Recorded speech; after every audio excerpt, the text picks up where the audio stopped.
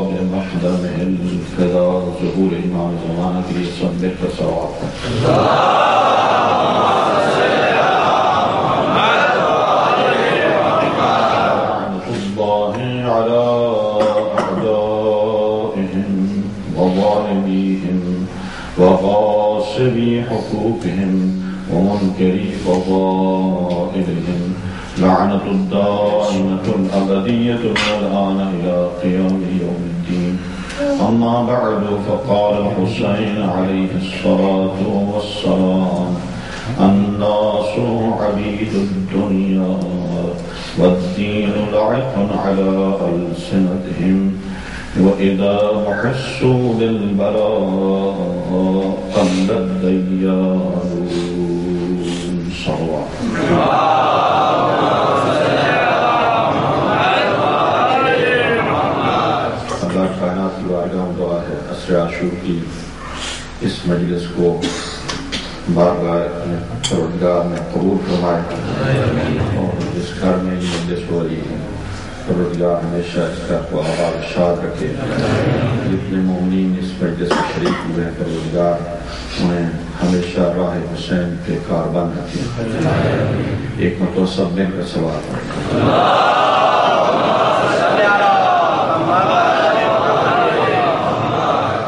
मुझे यकीन है दिन भर की अदादारियों से आप लोग थके हैं और फाके की हालत में भी हैं।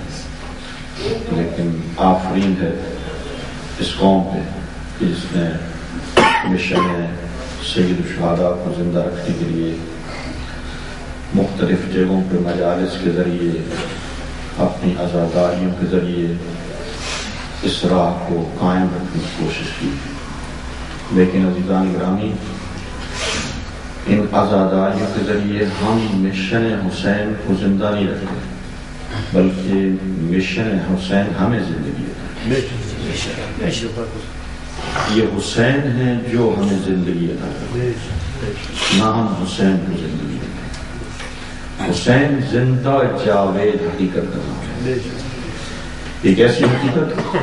कि जो खुद ज़िंदा जावेद है, जिसके मुताबिक कुरान ने गवाही दी ला तकूलू लिमन युक्तलु फ़ी सबीलिल्लाह अमवात बल अहयाउन इंद रब्बिहिम युरज़क़ून हरगिज जो अल्लाह की राह अपनी जान का नजराना पेश कर दे उनको मुर्दा न हो बल्कि वो ज़िंदा है और अपने परवरदिगार के नज़दीक रिस्क पा रहे हुसैन ज़िंदा जावेद हकीकत नाम और ये वो जात है जो हमें ज़िंदगी देती है आज हुसैन की ज़िंदगी इन मजालिस में मालूम है। हमारे आंसुओं में हमें पता चलता है कि हुसैन ज़िंदा है। आज की मजलिस में अपनी गुफ्तु का आगाज़ सैद शहादा के एक कलाम से किया है। जिसमें हज़रत ये शाह फरमाते हैं, अन्नासो अबीद दुनिया लोग दुनियादार हैं। दुनिया के गुलाम हैं।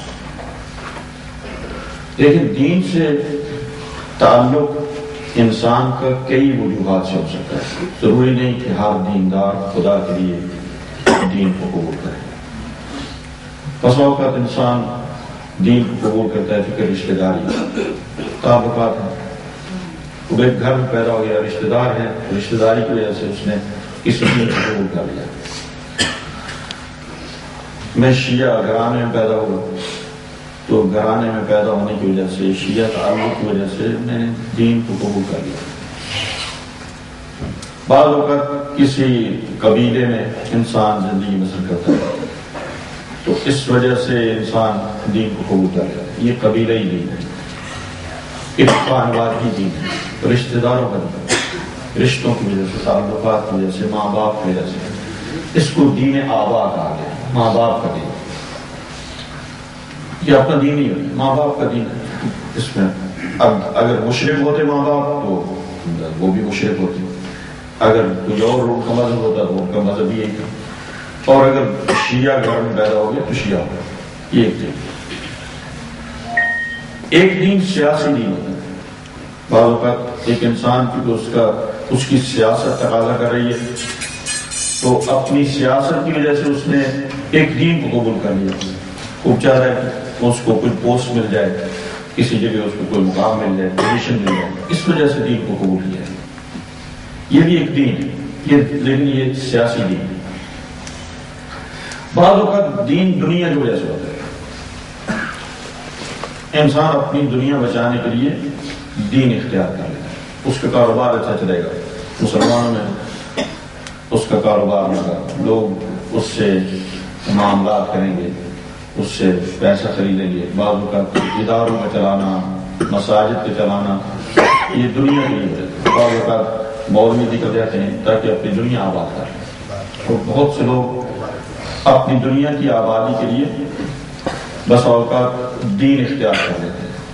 इल्म दीन क्यों पढ़ा था इसलिए पढ़ा था जाके ताकि लोग मेडिसिन सुनेंगे, अच्छी मजारस पढ़ेंगे जितनी अच्छी मजारस पढ़ेंगे उतना रकम ज़्यादा मिलेगी लिहाजा वो आशू के दिन उजरत के लिए मुंतजर होते हैं, ताकि आज के दिन उजरत मिल जाए। और शहीद मुताहिर ये फरमाते हैं, जो शख्स उजरत के लिए सैद शहादा की मजलिस करता है, इसी तरह जैसे खून हुसैन में लुकमे को उतार कर रखा है। बात तो ऐसे है कि जो इस इंतज़ार में कब उनको लुकमा तार कर दे वो इसलिए नहीं दीन को लोगों को समझा रहे ताकि दीन लोगों तक पहुँच सके, बल्कि उनको अपनी दुनिया से करा दुनियादार है। बहुत से ऐसे लोग जो किसी पोजीशन पे हैं, क्योंकि दुनियादार है, अपनी दुनिया चलाना चाह रहे हैं। अपनी शोहरत अपनी शख्सियत, अपनी हैसियत बचाने के लिए किसी मुआशरे में उनका मुकाम बन गया है, दीन की वजह से मुकाम बन गया ये जितने किस्म के दीन हैं, ये इंसान के लिए मुफीद नहीं इनको कोई फ़ायदा नहीं। लिहाजा इमाम फरमाते अबीद दुनिया। लोग दुनिया के गुलाम हैं, दुनिया के बंदे व दीनो लायकुन हैं ये दीन एक टेस्ट बन गया जबानों देखिए, अगर आप जब आप गजा खाना ना चाह रहे बल्कि आप गजा को चखना चाह रहे चखने का माना क्या होता है एक चीज़ को आपने जबान पे रखा चखने के बाद उसको छोड़ दिया। ना कोई शय अंदर गई है जो कुछ है वो बाहर है। असल में खाना मकसूद ही नहीं है। जब खाना मकसूद नहीं होता, एक खातून जो कभी किचन में काम कर रही हो तो जब खाना पका रही है तो खाना पकाते हुए उसने खाने को चख लिया। इसका खाना मकसूद नहीं है। इसी तरह बसों का दीन भी इंसान के लिए टेस्ट है। दीन इख्तियार नहीं किया है उसने अपनी जबान पे दीन को जारी कर लिया। मुसलमानों के साथ बैठने लगा, अगर आजादारी आ गई तो आजादारी में आ गए। अगर ईद दिन आ गया तो ईद में आके जमा हो गए। अगर कोई और दिन आ गया तो सारे लोग जा रहे बीच में जा रहे ऐसे दीन का इंसान को कोई फ़ायदा नहीं और ये दीन बहुत जल्दी खत्म हो जाता है। इस दीन को कैसे आजमाया जा सकता है? लेकिन आजमाया में बहुत शुरू को आजमाया जा सकता है। जैसे आज मसलन आपका ब्लड लेकर उसको टेस्ट करते हैं लेबोरेटरी में डालते हैं। लेबॉर्ट्री में जाते हैं, फिर उसके बाद आपको उस टेस्ट का पूरा नतीजा लेते हैं कि आपके ब्लड में मसलन शुगर है नहीं है इसमें कोलेस्ट्रॉल है या नहीं है। हर चीज़ की आजमाने का कोई ज़रिया है। हर चीज़ की आजमाइश के लिए कोई पैमाना मौजूद है। हर चीज़ को किसी एक लेबॉर्ट्री में पैमाइश की जा सकती है। दीन को भी कहीं पे आजमाया जा सकता है। कोई ऐसी जगह है जहाँ पर दीन को आजमाया जा सके बाद रिवायत में है कि ईमान को आजमाया जा सकता है। एक इंसान के ईमान को आजमाया जा सकता है। लिहाजा फरमाया कि हर वो शख्स कि अगर ये चाहे, किसी दूसरे के ईमान को पहचाने तो मोहब्बत अली से पहचान। अमीर के कमाल और फजीलत को उसके सामने बयान करें। अगर दिल में खुशी महसूस हो, चेहरे पे सुरूर के आसार हो तो समझ लें कि इसके दिल में ईमान है। और अगर उसके चेहरे पे कभी बल पड़ जाए, करवट पड़ जाए, पेशानी में करवट आ जाए तो जान लें कि ये मुनाफिक है। ईमान इसके दिल में दाखिल नहीं हुआ इब्तदाई ईमान की अलामत मोहब्बत है नहीं दिल में ईमान है या नहीं है? ये ईमान का होना अली की मोहब्बत इंसान की आजमाइश का है। अगर चाहते हो अपने ईमान को आजमाओ तो अमीर के साथ मुकाबला करके देखो। मोहब्बत अमीर मोमिन के साथ मुकाबला करके देखो। लेकिन सैयद शहदा ने एक और लिबार्टी बयान की। एक और लिबार्टी दी दीन को पहचानने की आप सवाल पढ़े।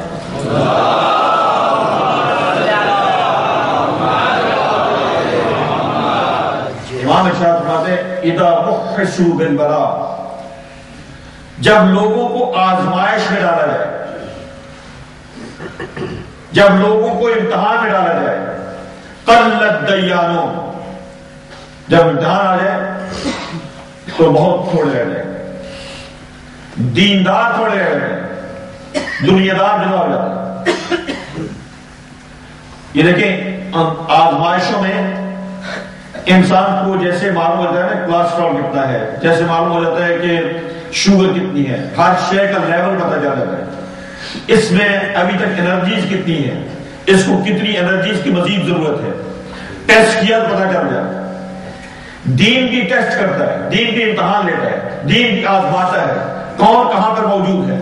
दीन का दावा करना आसान है, लेकिन दीनदार होना मुश्किल है। लिहाजा अमीर उमिन सलाम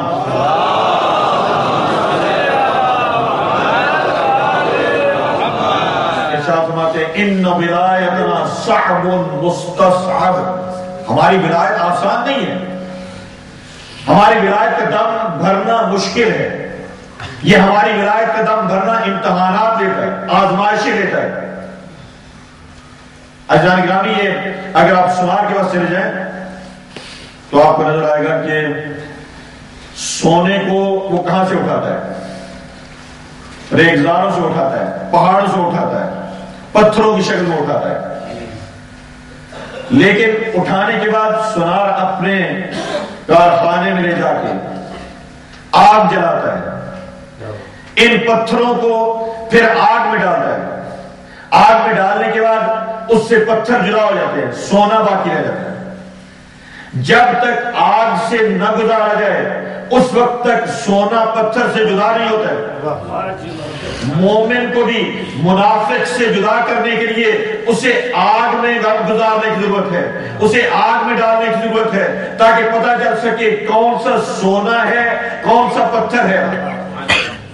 लिहाजा सैयद शुहादा ने, करबला की सरजमीन में ऐसा कारखाना खोला कि जिसके ज़रिए मालूम हो सके इंसान कौन है, दरिंदे कौन है, मोमिन कौन है, मुनाफिक कौन है। और वो जो राह हुसैनी पे अमल करने वाले हैं, वो कौन है? और राह यजीद पे अमल करने वाले कौन है? आज भी, अगर राय हुसैनी को जानना चाहें तो जहाँ पे सबसे ज़्यादा खतरा हो, वहाँ पर अगर देखें, हुसैनी अपने दस्ते पे कारबान है। खतरों को मूल लेने वाला, दीन के लिए खतरात के सामने खड़े होने वाला, दीन के लिए खतरात के सामने शिकर बन जाने वाला, इसे हुसैनी कहते हैं। और जब खतरात पेश आए, जो भाग कर चला जाए, उसके मुतालिक जान लें कि इसका हुसैन से मुताल्लुक है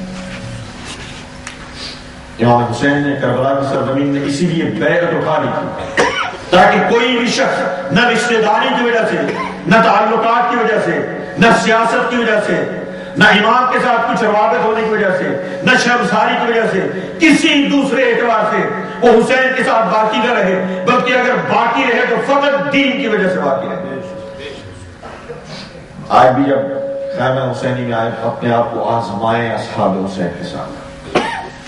अपना इम्तहान करें, अपनी आजमाइश करें कि हम कहाँ पे मौजूद हैं। ये दर्श हुसैन है ये मुखसू बिल बना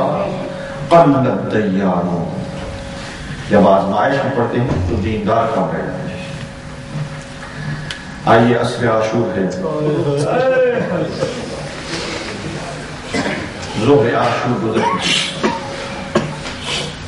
सुबह आशूर गुजर आपने जोहरैन की नमाज़ अदा कर और असर का वक्त निकल। अजीजो हमने भी जोहरैन की नमाज़ अदा की है और हमारे मौला मजलूम करबला ने भी करबला में जोहरैन की नमाज़ अदा की। लेकिन फ़र्क क्या है इस नमाज़ में और उस नमाज़ में? दोनों नमाजों में बड़ा फ़र्क है। एक नमाज़ खौफ अदा की गई। एक नमाज़ अमन की हालत में अदा की जाती है। कभी अबू सुमामा साइदी ने आकर कहा, मौला, नमाज़ का वक्त हो गया। आज हम चाहते हैं आपके साथ आखिरी नमाज़ अदा करें। तो मेरे मौला ने जवाब में अबू सुमामा साइदी से कहा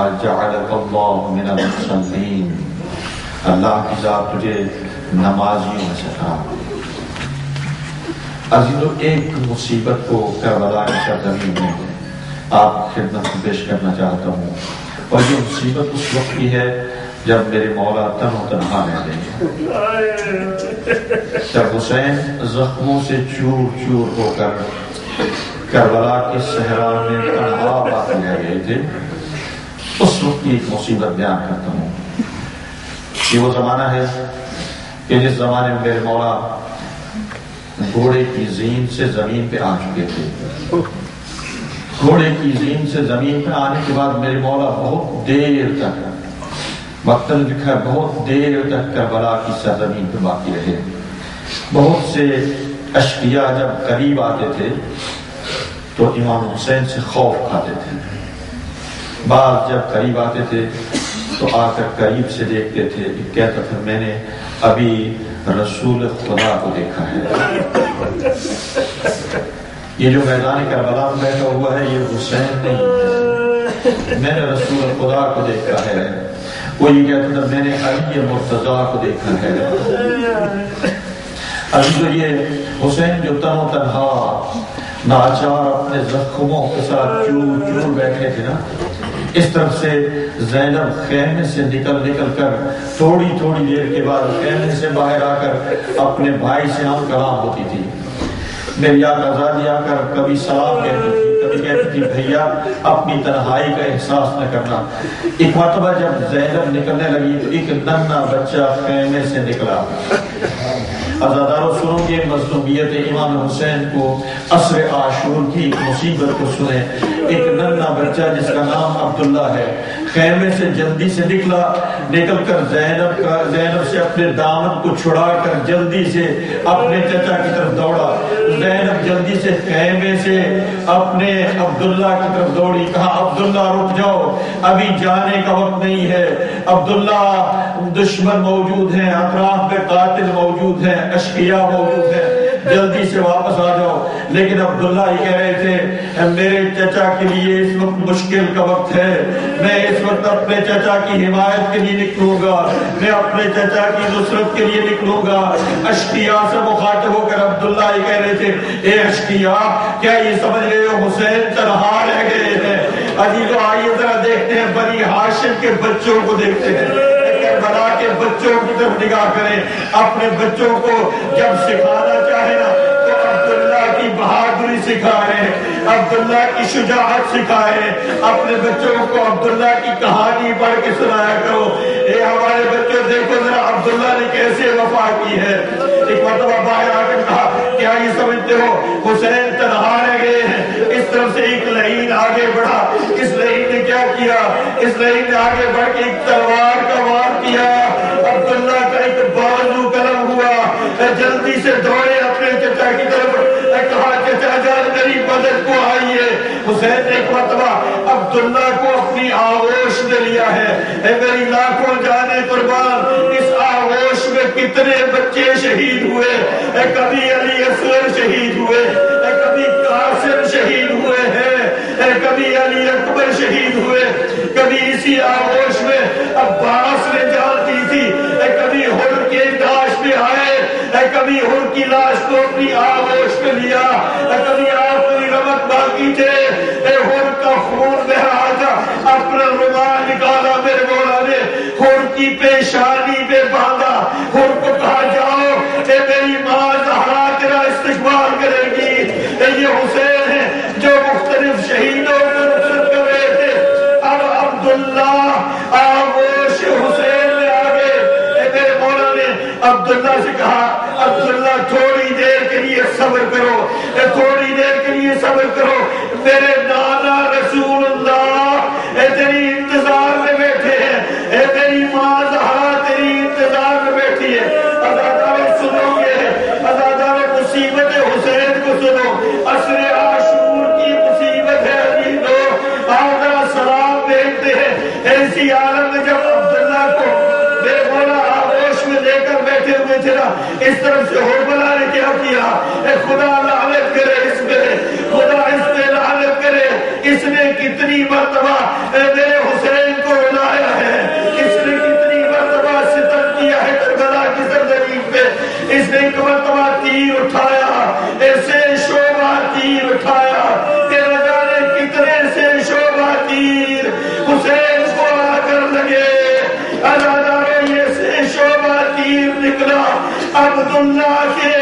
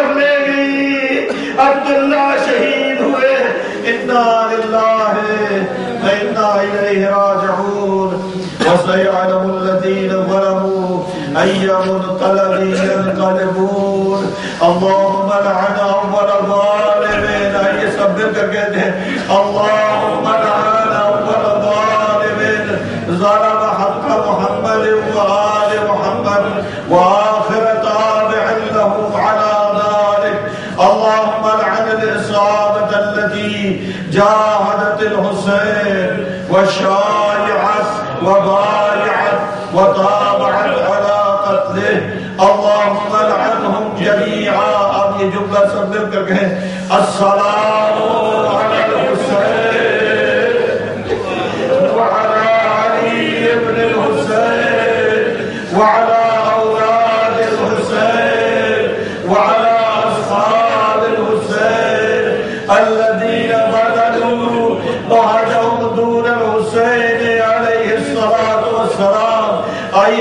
आशूर बारगाह खुदा में कहते हैं अल्लाह पर रुकना शफाअत हुसैन जब क़यामत के दिन तेरी बारगाह में वारिद हो तो शफाअत हुसैन से महरूम न फरमा।